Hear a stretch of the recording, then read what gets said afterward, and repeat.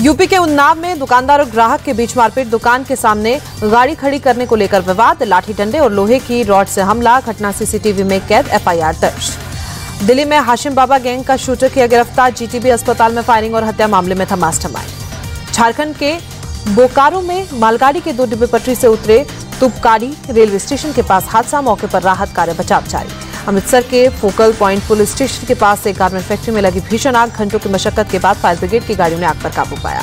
गुजरात के जामनगर में तेंदुआ ने किए छोटे बच्चे पर हमला, अस्पताल में भर्ती। बिहार के औरंगाबाद में सात बच्चियों समेत आठ की मौत, तालाब में नहाने गए थे सभी लोग। औरंगाबाद हादसे पर सीएम नीतीश कुमार ने जताया दुख, मृतकों के परिवार वालों को चार चार लाख रुपए मुआवजे का ऐलान। महाराष्ट्र के कल्याण में आकाशीय बिजली गिरने से दो लोगों की मौत, आकाशीय बिजली की चपेट में आकर कई लोग घायल, परिजनों का रो रो कर बुरा हाल। दिल्ली के विकासपुरी में बैंक लूट की कोशिश, पुलिस ने आरोपी को धर दबोचा रिमोट सहित कई इलेक्ट्रॉनिक उपकरण के साथ घुसा धांधर पश्चिम बंगाल के सिलीगुड़ी में भारी मात्रा में अवैध शराब बरामद, पुलिस ने शराब ले जा रहे दो लोगों को गिरफ़्तार किया। राजस्थान के जालोदा गाँव में सिलेंडर ब्लास्ट, धमाके में गिरा मकान, हादसे में छह लोग घायल। बाड़मेर की कलेक्टर टीना डाबी सफ़ाई के लिए सड़कों पर उतरी सफ़ाई अभियान चलाया।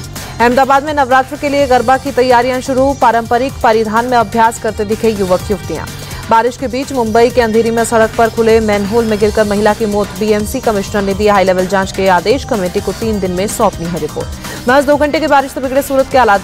दो घंटे में बहत्तर मिलीमीटर बारिश। निचले इलाकों में कई फीट तक पानी भरा।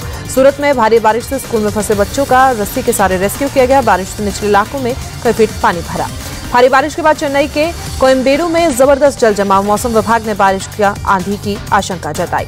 चेन्नई में मेयर प्रिया राजन ने पेम्बू सवे और आसपास के इलाकों का निरीक्षण किया। बारिश के बाद हुआ था जल जमाव चंडीगढ़ में बदला मौसम का मिजाज। कई इलाकों में तेज हवाओं के साथ बारिश। हरियाणा के अंबाला में भी भारी बारिश, तेज हवाओं के साथ बारिश।